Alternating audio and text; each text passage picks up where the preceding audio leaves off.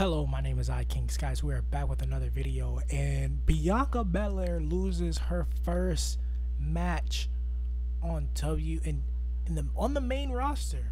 Her first match, she lost December 18th, 2020, to no other than Bayley, a former SmackDown champion. Now, I'm gonna say something. Uh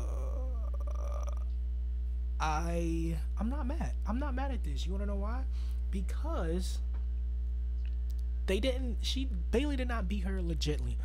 She might have beaten her, but she didn't beat her legitly. And for a SmackDown's Women's Champion that reign lasted 400 and something days, I say that's a pretty good l- loss.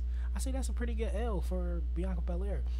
Now, if this continues uh, at TLC and Bianca Belair wins, that's great. But if she loses again, what the fuck was the point of making Bayley beat her by cheating in the first place if she could have just beat her legit?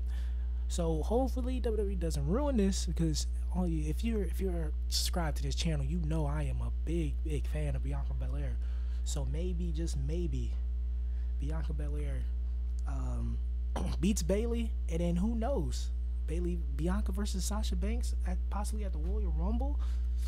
Who knows? My name is IKingSkice. If you like these videos, results, everything else that comes with this channel, like and subscribe. And thanks for watching.